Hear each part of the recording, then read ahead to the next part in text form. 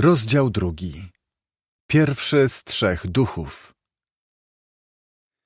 Kiedy Scrooge obudził się, było tak ciemno, że wyglądając z łóżka mógł zaledwie odróżnić przejrzyste okno od ciemnych ścian pokoju.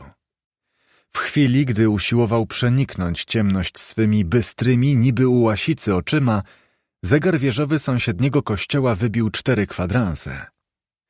Słuchał pilnie, która też następnie wybije godzina. Ku wielkiemu jego zdziwieniu ciężki dzwon wybił sześć, siedem, osiem i tak dalej aż do dwunastu. Wtedy zatrzymał się. Dwunasta? To być nie może. Było przecież już po drugiej, gdy poszedł spać. Zegar mylił się. Lud musiał się dostać między jego koła i tryby. Dwunasta? Przycisnął sprężynę swego repetiera w celu skontrolowania ogłupiałego zegara, lecz repetier także wybił dwunastą, a potem zatrzymał się. To niepodobna, mruczał Scrooge, żebym przespał dzień i część drugiej nocy. Niepodobna również, żeby słońcu przytrafiło się coś nadzwyczajnego, żeby teraz zamiast południa była północ. Zaniepokojony, jak mógł najprędzej wygrzebał się z łóżka i zbliżył się po omacku do okna. Musiał rękawem szlafroka zetrzeć naprzód mróz z szyby, zanim mógł ujrzeć cokolwiek, ale i wtedy zobaczył niewiele. Zauważył tylko, że było bardzo mglisto i nadzwyczaj zimno i że nie było słychać ludzi biegnących w różne strony, sprawiających zwykły gwar i hałas, co działoby się niezawodnie – gdyby noc pokonała dzień i zapanowała nad światem. Spostrzeżenie to przyniosło mu wielką ulgę. Interesy załatwiają się we dnie, a nie w nocy. Co by się stało z wekslami Scrooge'a, gdyby już nie było dni, tylko noce? Tak poważna i tak obowiązująca formuła prawna.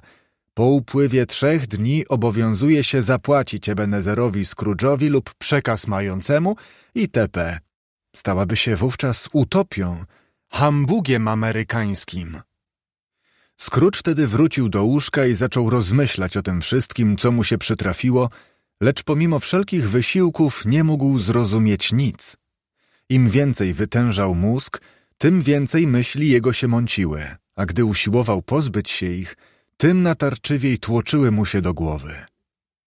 Duch Marleya wzburzył go niesłychanie – Ile razy po dojrzałej rozwadze dochodził do wewnętrznego przekonania, że to był po prostu sen, myśl jego znów wracała jak uwolniona od nacisku sprężyna do dręczącego przedmiotu. Znów stawało przed nim natrętne zagadnienie. Czy to był sen, czy rzeczywistość? Scrooge leżał dręczony niepewnością, dopóki zegar nie wybił trzech kwadransów.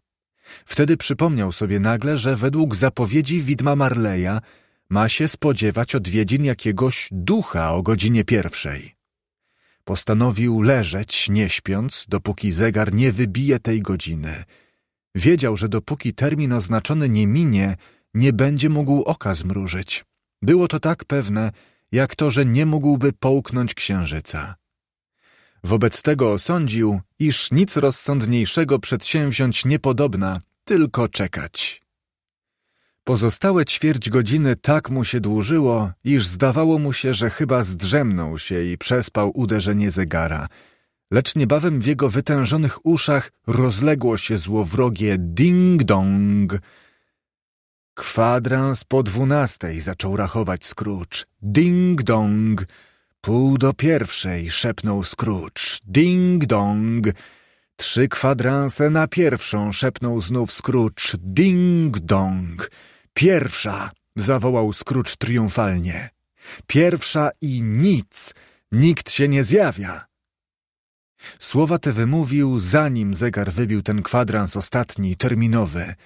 W tej chwili jednak, gdy się rozległo jego głuche, złowieszcze, ponure, groźne uderzenie, Cały pokój nagle zajaśniał silnym, jaskrawym blaskiem i kotara łóżka Scrooge'a rozsunęła się. Ściśle mówiąc, kotarę rozsunęła jakaś ręka i to nie część tej zasłony w nogach albo w połowie łóżka, lecz tę mianowicie, na którą Scrooge miał w tej chwili zwrócone oczy. Gdy się to stało, Scrooge przysiadł na łóżku i znalazł się oko w oko z nadziemskim gościem, który się właśnie zjawił i stanął tuż przy ramieniu Scrooge'a. Dziwna to była postać, niby dziecko, a jednak nie tyle podobna do dziecka, ile do starca widzianego przez jakąś dziwną atmosferę, która oddalając go zmniejszała do rozmiarów dziecka.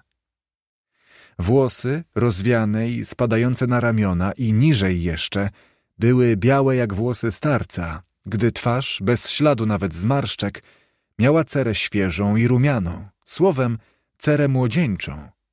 Barki były rozrosłe, ręce długie i muskularne, dłonie tak rozwinięte, że zdawało się, iż posiadają nadzwyczajną siłę. Nogi i stopy, pięknie ukształtowane, były podobnie jak ręce obnażone. Zjawisko przybrane było w śnieżnej białości tunikę objętą świetnym pasem, połyskującym jakby tysiącem brylantów. W ręce trzymało gałązkę świeżego, zielonego ostrokrzewu, suknie zaś jego, w dziwnej sprzeczności z tym symbolem zimy, zdobiły świeże kwiaty. Lecz najdziwniejsze ze wszystkiego było to, że z wierzchołka głowy zjawiska wytryskał jasny promień światła, który rozjaśniał wszystko dokoła. W chwilach smutku duch ten kładł na głowę zamiast czapki wielki kaptur do gaszenia świec, który teraz trzymał pod pachą. Dla Scrooge'a jednak, który ze wzrastającym zainteresowaniem przypatrywał się gościowi, nieów kaptur był największą osobliwością całej postaci. Scrooge'a zdumiewał pas ducha. Pas ten lśnił, skrzył się, połyskiwał i błyszczał raz w jednym miejscu, to znów w drugim – Także to, co było w danym razie jasne, stawało się za chwilę ciemną plamą i przeciwnie. Cała postać zjawiska odbijała też owe zmiany świetlne, a wskutek tego przedstawiała się co chwila inaczej. To zdawało się mieć jedną tylko nogę, to jedną tylko rękę, to znów parę nóg tylko, to korpus bez głowy, to wreszcie głowę bez korpusu.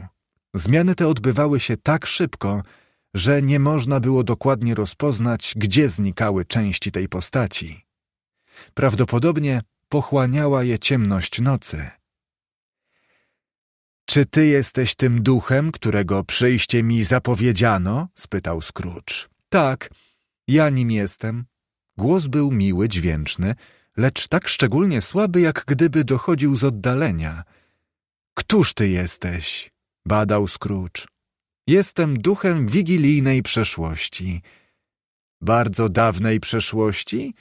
Zapytał Scrooge, wpatrując się w karlęcą postać zjawiska. Nie, duchem twojej wigilijnej przeszłości. Zapewne Scrooge nie byłby w stanie powiedzieć, gdyby go kto o to zapytał, dlaczego zapragnął widzieć ducha w osobliwej czapce na głowie. Ale faktem jest, że powstało w nim to życzenie – i to w tak natarczywym stopniu, że nie mógł się pohamować i poprosił ducha o nakrycie głowy. Co? zawołał duch. Chcesz występnymi swymi rękoma jak najprędzej zagasić dobroczynne światło, które ci przynoszę? Czy mało ci jeszcze, że jesteś jednym z tych, których namiętności złożyły się na utworzenie tej czapki i skazały mnie na noszenie jej przez całe wieki głęboko naciśniętej na uszy? Scrooge pokornie wyparł się wszelkiej intencji obrażenia ducha i zapewnił, że nigdy w życiu świadomie się nie przyczynił do skazania go na taką nieprzyjemność. W końcu odważył się zapytać gościa, co go właściwie sprowadza. Twoje dobro, odparł duch. Scrooge wyraził serdeczne podziękowanie, lecz jednocześnie pomyślał, że spokojny, niczym niezamącony sen prowadziłby właściwiej do tego celu. Duch musiał odgadnąć jego myśli, gdyż odezwał się zaraz. Ściślej mówiąc, sprowadza mnie tu pragnienie twojej poprawy.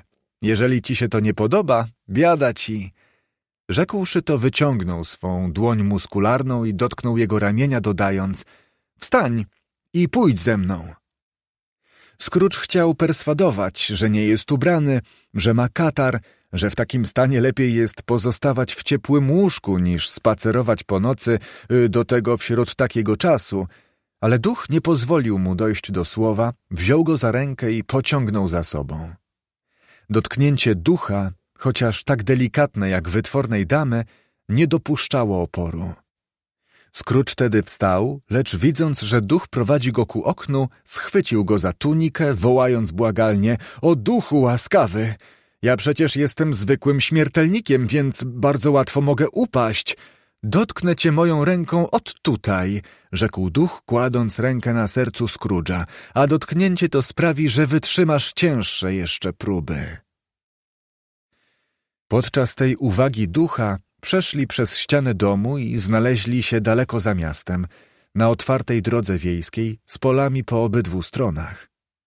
Miasto zniknęło zupełnie, nigdzie ani śladu zabudowań. Ciemność i mgła znikły razem z miastem, jaśniał teraz mroźny, lecz pogodny dzień zimowy. Ziemię pokrywał całun śniegu. Sprawiedliwe nieba! Zawołał Scrooge, rozglądając się dokoła i uderzając w ręce. Przecież to moja wioska rodzinna. Wychowałem się tutaj, bawiłem się z rówieśnikami. Tak, tu spędziłem lata chłopięce. Duch spoglądał na niego z łagodnym uśmiechem. Lekkie jego, przelotne dotknięcie obudziło uczucia starego Scrooge'a, który teraz chciwie wdychał balsamiczne wonie unoszące się w powietrzu, a każda wskrzeszała w nim tysiące wspomnień, nadziei, radości i trosk, dawno, dawno zapomnianych. Twe usta drżą, odezwał się duch.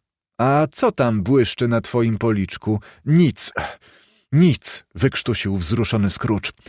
Zapewniam cię, że wcale nie czuję obawy. Prowadź mnie dokąd chcesz. Poznajesz tę drogę? zapytał duch. Czy ją poznaję?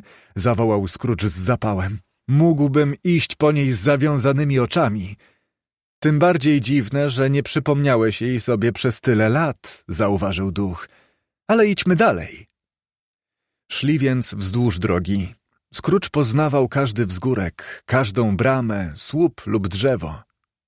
Wreszcie w oddali ukazało się małe miasteczko z mostem, kościołem i wijącą się wdzięcznie srebrną stęgą rzeczki. Jednocześnie zjawiły się kosmate kuce, biegnące ku nim truchtem z małymi chłopcami na grzbietach, którzy nawoływali wesoło innych chłopców jadących w wózkach wiejskich. Wszyscy oni byli w doskonałych humorach i tak raźnie, tak ochoczo pokrzykiwali, że cała przestrzeń wypełniła się wesołą muzyką, a zdawało się, że powietrze wtórzyło jej radośnie. To są tylko cienie przeszłości, cienie rzeczy, które kiedyś istniały, rzekł duch. Nas te istoty nie przeczuwają nawet. Rozbawieni mali podróżni zbliżali się, a Scrooge poznawał i nazywał każdego z nich po imieniu. Byli to jego rówieśnicy, weseli towarzysze lat młodocianych. Dlaczego widok ich sprawiał mu niewypowiedzianą radość?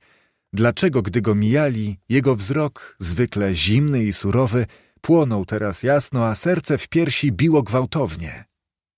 Dlaczego, gdy ci dziarscy, rozbawieni chłopcy rozstawali się na rozdrożach i życzyli sobie wzajem wesołych świąt Bożego Narodzenia, wesołość wypełniła mu duszę? Czymże były wesołe święta dla Scrooge'a? Precz z wesołymi świętami, cóż one dobrego przyniosły mu kiedykolwiek? Szkoła nie jest jeszcze zupełnie pusta, zauważył duch.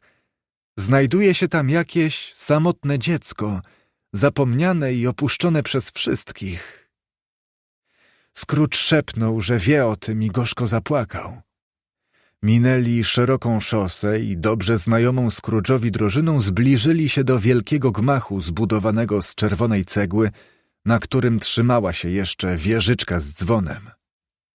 Był to niegdyś wspaniały dom, ale smutne spotkały go losy i teraz przedstawiał wymowne świadectwo znikomości rzeczy doczesnych. Ściany jego zewnętrzne wilgoć przeżarła i mchy pokryły. Okna były pobite, bramy i drzwi popruchniałe. Drób gdakał i gospodarował po stajniach, a spichrze, wozownie i szopy porosły chwastem. Wnętrze niczym nie przypominało dawnej świetności. Znalazłszy się w ciemnym, ponurym, pełnym śmiecia i błota korytarzu, przez otwarte drzwi ogarniało się wzrokiem cały szereg pokojów pustych i zimnych. Powietrze było przesycane wilgocią, z każdego kąta wyzierało opuszczenie. Zewsząd wiał chłód, mrożący duszę i wskazujący wielki niedostatek. Duch i Scrooge szli przez sień do drzwi umieszczonych w tyle domu. Drzwi same otworzyły się przed nimi, odsłaniając drugą, pustą i posępną izbę zastawioną ławami z gładkich desek i pulpitami. Przy jednym z pulpitów samotny chłopiec czytał coś przy słabo tlejącym ogarku. Scrooge zakrył twarz dłońmi i zapłakał. Poznał w tym upuszczonym chłopcu samego siebie. Najmniejsze echo w tej pustce, piski i bieganie myszy za obiciem ścian, krople spadające z na wpół odmarzniętej rynny gdzieś w tylnej części podwórza, słaby szmer bezlistnych gałęzi smutnej topoli, skrzypienie drzwi pustego spichrza, wiszących na naderwanym zawiasie, pryskanie dogasającego na kominku ognia. Wszystkie te szmery i odgłosy spadały niby balsam kojący na duszę Scrooge'a, przynosząc mu ulgę i wyciskając coraz obfitsze strumienie łez. Duch dotknął jego ramienia, wskazując mu jego dawne ja pogrążone w czytaniu. Wtem jakiś człowiek w dziwacznym stroju, z siekierą zatkniętą za pas, zjawił się przed oknem, prowadząc za sobą osła obładowanego drzewem. Ależ to Alibaba! zawołał uradowany Scrooge. To stary, dobry, drogi, poczciwy Alibaba. Poznaję go doskonale. Pewnego wieczora wigilijnego, dawno, bardzo dawno temu, gdy to opuszczone dziecko zostało zupełnie samo, on przyszedł do niego po raz pierwszy właśnie w takim ubiorze jak teraz. Biedny chłopiec. A to Walentyn, ciągnął dalej Scrooge, i jego dziki brat Orson. Idą tu obaj. A ten, jakże on się nazywa? No ten, którego położono śpiącego u bram Damaszku. Czy go nie widzisz? O, koniuszy sułtana, postawiony przez wróżkę na głowie nogami do góry, ha, wciąż stoi na głowie. Dobrze mu tak, bardzo mnie to cieszy. Jakim prawem chciał się żenić z córką sułtana? A tam papuga, prowadził swoje wspomnienia Scrooge. Zielona z żółtym ogonem, z czubem wyrastającym z głowy podobnym do liści sałaty. Otóż jest. Znalazł ją Robinson Crusoe, gdy wrócił do domu po opłynięciu swej wyspy. Nauczył ją wołać biedny Robinsonie Crusoe. Raz gdy papuga do niego tak przemówiła, sądził, że śni, ale nie śnił. To istotnie mówiła papuga, a tam zaś piętaszek pędzi do zatoki, uciekając przed ludożercami. Śmiało, prędzej, nie trać odwagi, Robinson cię ocali. Przechodząc od jednego wspomnienia do drugiego, z żywością, której by nikt w nim nie przypuszczał, Scrooge nagle znów uniósł się litością nad swym dawnym ja. Biedny, biedny chłopiec, szepnął i znów zapłakał. Pragnąłbym, mruknął po chwili, otarłszy łzy rękawem szlafroka, wkładając rękę do kieszeni i oglądając się dokoła, pragnąłbym bardzo, ale teraz pewnie już za późno. O co ci chodzi? zapytał duch. Nic, odparł Scrooge. Od drobnostka. Przypomniałem sobie jakiegoś wyrostka, który wczoraj wieczorem śpiewał pieśń świąteczną przed drzwiami mego kantoru. Żałuję, że nic mu nie dałem. Oto wszystko. Duch uśmiechnął się, skinął ręką i rzekł Teraz zobaczymy inną wigilię. Dawne ja Scrooge'a znacznie urosło w tej chwili, a izba szkolna stała się jeszcze ciemniejsza i brudniejsza. W ścianach ukazały się szczeliny, okna się pokrzywiły, tynk poodpadał kawałkami z sufitu, odkrywając nagie deski. Jakim sposobem wszystkie te zmiany mogły odbywać się tak szybko? Scrooge tak samo nie wiedział, jak nie wie czytelnik. Wiedział tylko, że wszystko to stało się istotnie, że gdy inni chłopcy udali się na wesołe święta do domów rodzinnych, on pozostał w szkole sam jeden, zapomniany i opuszczony. Teraz jednak nie czytał, natomiast chodził po izbie szkolnej wzdłuż i wszerz, pełen rozpaczy. Scrooge spojrzał na ducha, potrząsnął żałośnie głową, po czym skierował wzrok niespokojny i wyczekujący ku drzwiom. Drzwi otworzyły się i mała dziewczynka, młodsza znacznie od chłopca, wpadła do szkoły, rzuciła mu się na szyję i całując go wołała – mój drogi, dobry braciszku! Wycałowawszy go zaś i wyściskawszy, mówiła szybko, klaszcząc drobnymi, wychudłymi rączkami i śmiejąc się z wielkiego rozradowania. Przybyłam, mój kochany, ażeby cię zabrać do domu, tak, tak, ażeby cię zabrać do domu, do domu, do domu. Do domu, moja mała Fanny? powtórzył chłopiec. Nie inaczej, potakiwała dziewczynka rozpromieniona. Do domu na dobre, do domu na zawsze. Ojciec jest teraz o wiele lepszy niż było dawniej, dom nasz jest teraz miły jak raj. Pewnego wieczoru przemawiał do mnie tak łagodnie, że ośmieliłam się go zapytać jeszcze raz, czy byś mógł wrócić do domu. Odpowiedział, że możesz i dziś wysłał mnie powozem pocztowym, żebym ciebie, braciszku, przywiozła. Ty już niedługo będziesz prawdziwym mężczyzną, dodała z dumą, szeroko otwierając swoje duże oczy. I nigdy już tutaj nie wrócisz, ale przede wszystkim spędzimy razem święta Bożego Narodzenia. Będziemy doskonale się bawili, ach, co to będzie za rozkosz. Jesteś już prawie kobietą, moja mała siostrzyczko, zawołał chłopiec. Ona zaś radośnie klasnęła w ręce i śmiejąc się usiłowała dosięgnąć jego głowy. Widząc jednak, że jest za mała, wybuchnęła znów śmiechem i podniosła się na palcach, aby go znów ucałować. Wreszcie zaczęła go ciągnąć w swej dziecinnej gorliwości ku drzwiom, a on szedł za nią ulegle, nie mając nic przeciwko opuszczeniu tej ponurej izby. Naraz w sieni rozległ się straszny głos – Znieść na dół rzeczy pana Scrooge'a żywo! Jednocześnie prawie w drzwiach izby szkolnej ukazał się sam nauczyciel. Spoglądał on na chłopca przez chwilę z dziką uprzejmością, po czym ująwszy jego rękę, uścisnął ją tak gwałtownie, że chłopiec zmieszał się wielce i omal przytomności nie stracił. Następnie zaprowadził dzieci do niskiego, wyziębionego, odrapanego pokoju, w którym mapy na ścianach, jak również niebieskie i ziemskie globy w oknach, pokrywał szron. Tutaj wyjął karawkę przedziwnie lekkiego wina oraz kawał przedziwnie ciężkiego ciasta i traktował swych młodych gości tymi przysmakami.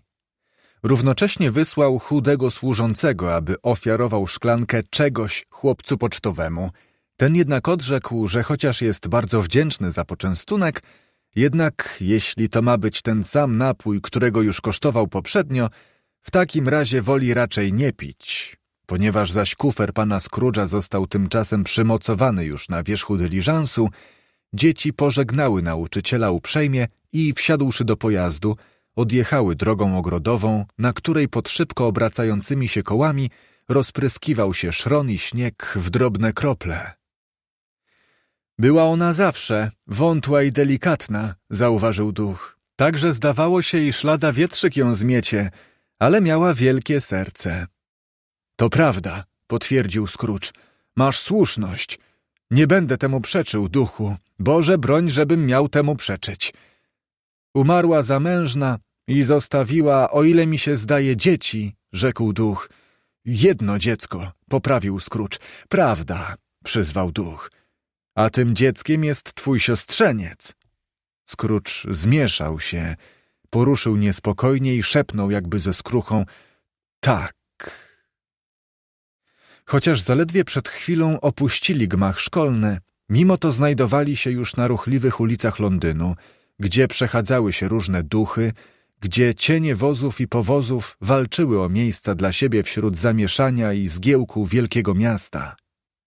Po ożywionym ruchu w sklepach można było poznać, że był to również dzień wigilijny. Wieczór już zapadł, latarnie oświecały ulice. Duch zatrzymał się przed jakimś składem i zapytał Scrooge'a, czy go poznaje. Czy go poznaje? zawołał Scrooge. Przecież praktykowałem tutaj. Weszli. Przy wysokim biurku siedział stary człowiek w walijskiej peruce. Na jego widok Scrooge zawołał z uniesieniem – Ależ to Fezziwig, daj mu Boże zdrowie, wszakże to żywiuteńki Fezziwig. Wtedy właśnie stary Fezziwig położył pióro. Spojrzał na zegar ścienny, który wskazywał siódmą godzinę, zatarł ręce, poprawił swą obszerną kamizelkę, roześmiał się głośno, oglądając się od pięt do pasa, potem klasnął w dłonie i zawołał dźwięcznym, jowialnym, wesołym głosem – Hej tam, Ebenezer, Dick! Dawne ja Scrooge'a. teraz już w postaci młodzieńca, weszło żywo w towarzystwie swego kolegi. Z pewnością Dick Wilkins, zawołał Scrooge do ducha. Przysięgam, że to on. Dick był bardzo do mnie przywiązany. Biedny Dick, biedny. Hej tam, chłopcy, rzekł Fezziwig. Zaprzestać już pracy, na dziś dosyć. Przecież to wieczór wigilijny, Dick. To wigilia, Ebenezer. Zamknąć okiennicę. Trudno sobie wyobrazić, z jakim zapałem zabrali się chłopcy do roboty. Wybiegli na ulicę z okiennicami, raz, dwa, trzy, już je włożyli, cztery, pięć, sześć, zamknęli i zaryglowali, siedem, osiem, dziewięć, zanim mogłeś doliczyć do dwunastu, już wrócili, dysząc jak konie wyścigowe. Brawo! Doskonale! zawołał stary Fezziwig, zeskakując z wysokiego stołka z podziwu godną zwinnością. Pouprzątać, chłopcy, z pokoju rzeczy zbyteczne, żebyśmy mieli sporo miejsca. Hej ho, Dick! Hej ho, Ebenezer! Pouprzątać.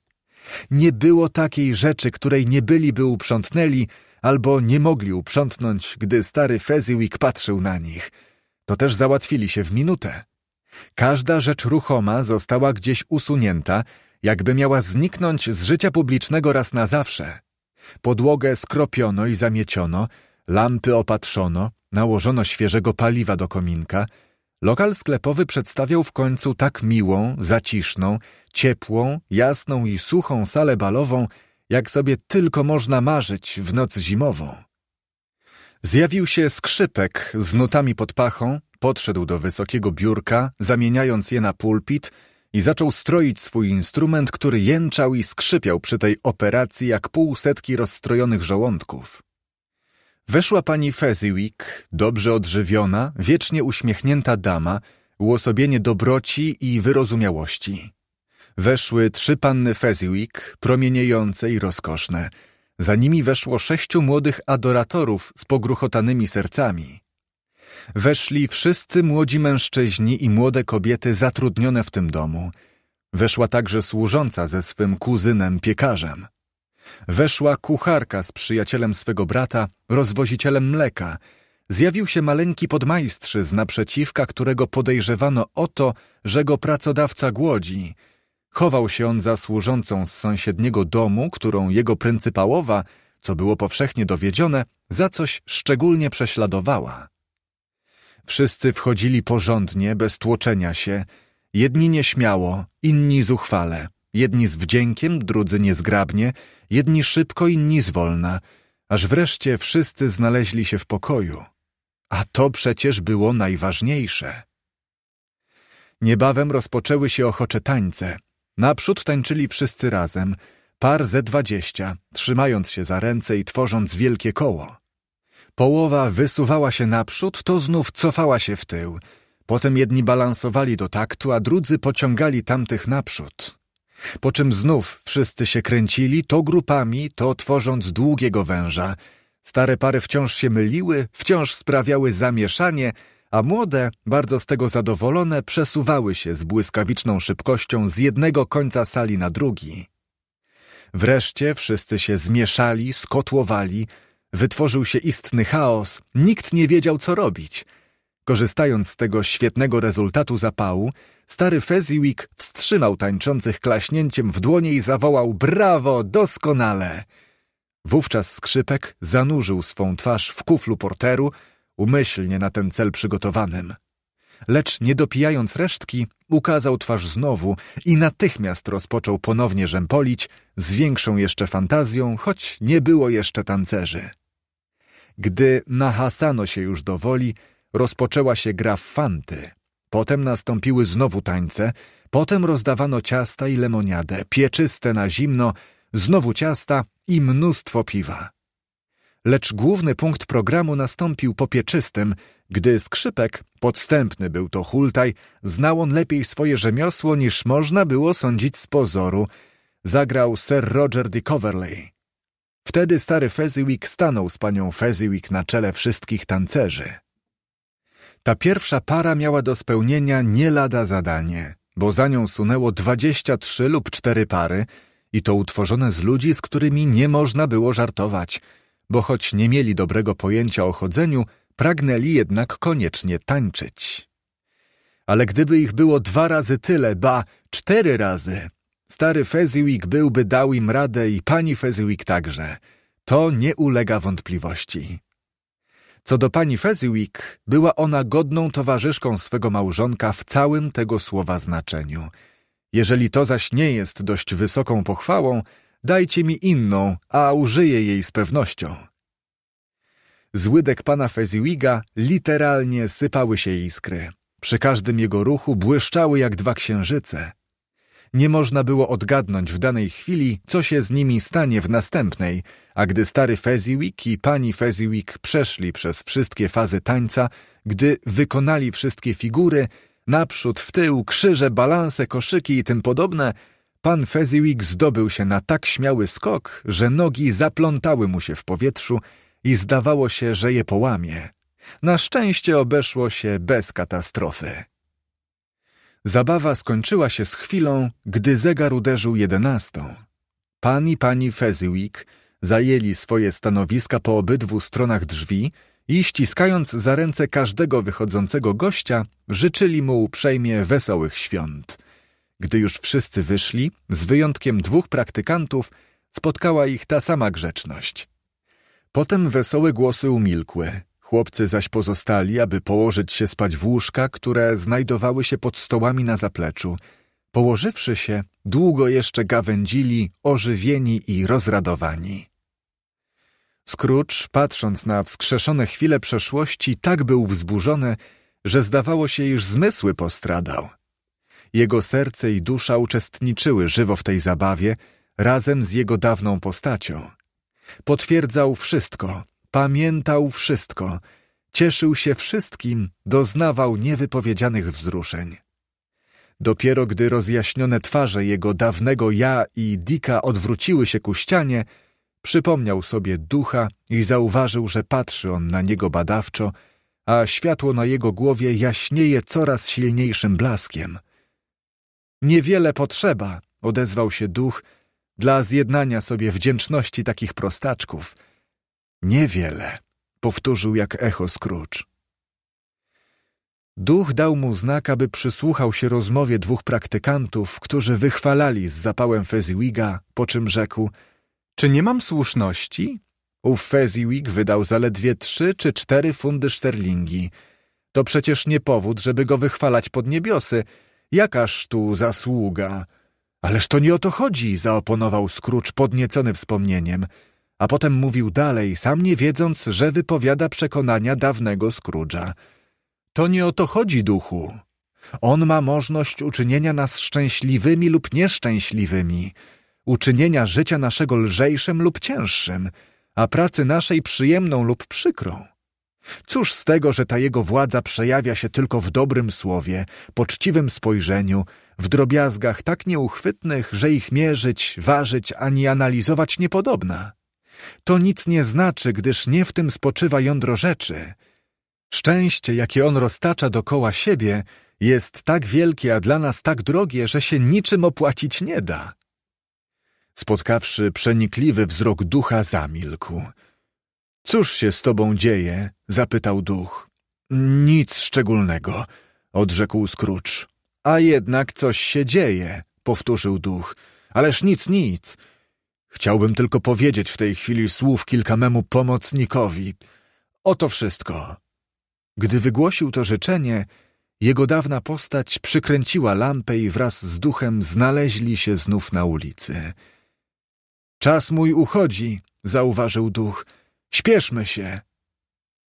Słowa te nie były skierowane do Scrooge'a, ani też do jakiejkolwiek istoty widzialnej, mimo to wywołały niezwykły skutek, gdyż Scrooge znowu ujrzał samego siebie. Był już starszy, w sile wieku. Twarz jego nie miała jeszcze surowych i ostrych linii lat późniejszych, lecz w rysach jej już się przejawiały pierwsze ślady skąpstwa i jakiegoś niepokoju. W oczach już migotał wyraz drapieżnej chciwości, zdradzały one namiętność wzbogacenia się, która zaczynała rozrastać się w jego duszy. Nie ulegało też wątpliwości, w jakim kierunku potoczy się jego życie. Nie był sam. Obok siedziała młoda i piękna dzieweczka w żałobie, z oczyma pełnymi łez, które błyszczały jak brylanty w świetle wytryskającym z głowy ducha wigilijnej przeszłości. Zapewne, że to rzecz obojętna, mówiła dzieweczka głosem zgnębionym. Zwłaszcza obojętna dla pana, gdyż inne bóstwo zajęło w sercu pańskim moje miejsce.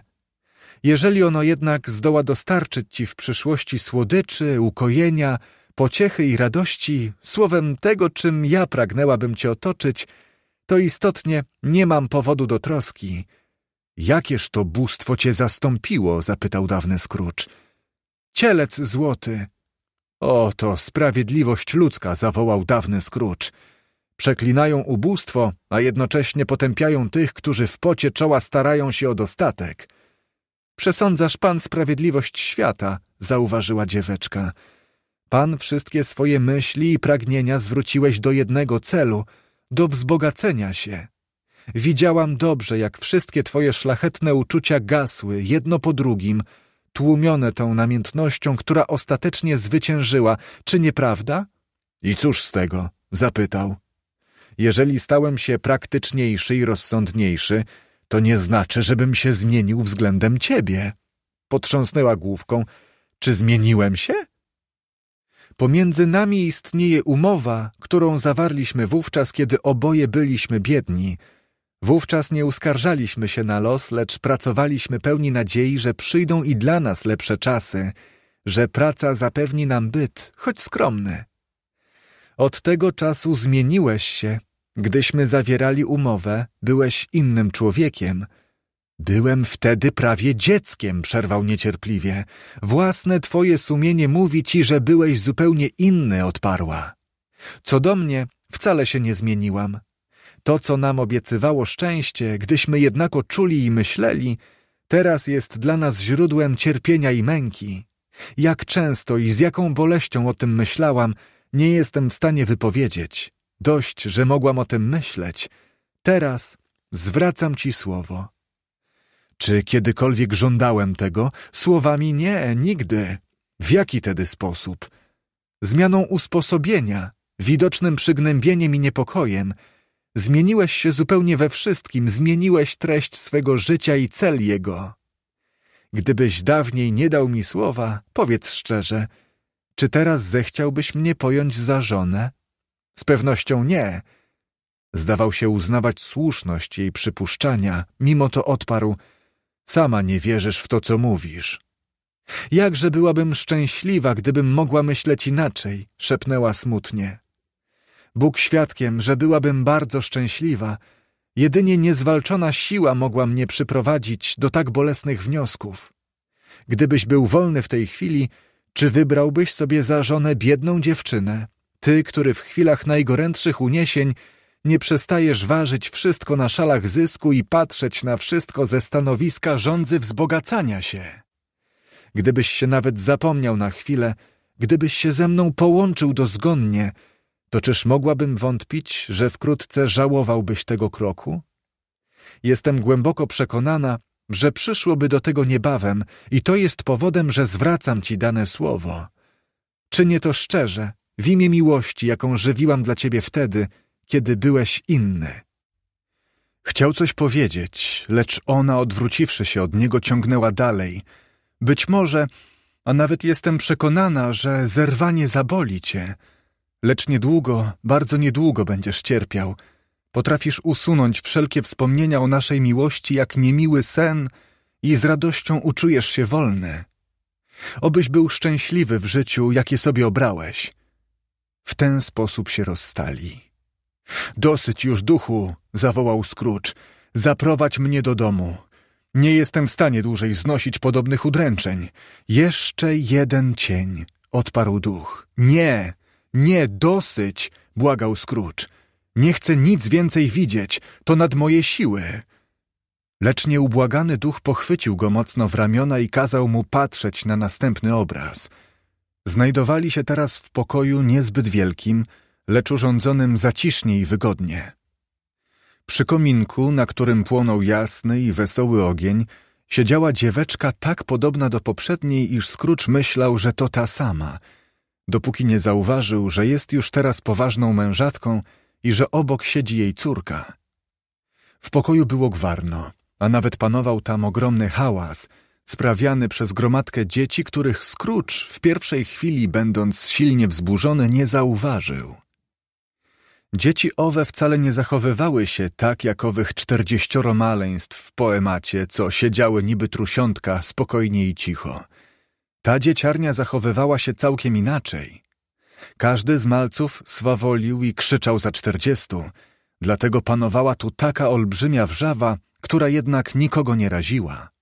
Owszem, matka i córka śmiały się serdecznie i cieszyły się tym bardzo – Córka, wmieszawszy się do zabawy, została przez małych swawolników napadnięta ze wszystkich stron. Czego bym nie dał, żeby być jednym z nich? Lecz oczywiście nie okazałbym się tak okrutny jak oni, wierzajcie. Za wszystkie skarby świata nie ośmieliłbym się potargać gładko uczesanych włosów pięknej siostrzyczki, ani też zerwać z jej stopy miniaturowego pantofelka. Nie ośmieliłbym się również za nic na świecie objąć wiotkiej i kształtnej jej kibici, jak to te małe nicponie czyniły podczas zabawy, bez wszelkiej ceremonii, gdyż obawiałbym się, że moja ręka za podobną zbrodnię nie pozostała już na zawsze zgięta. A jednak, wyznaję szczerze, pragnąłbym dotknąć jej ust. Pragnąłbym ją zapytać o coś, wprost dlatego, żeby ją skłonić do ich otworzenia.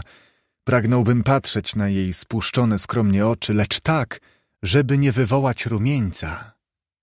Pragnąłbym rozpleść jej wonne włosy, których najmniejszy loczek przechowałbym jako drogą pamiątkę. Słowem, pragnąłbym wobec niej posiadać wszelkie przywileje dziecka jednocześnie pozostać dojrzałym mężczyzną, aby móc należycie ocenić jej urok.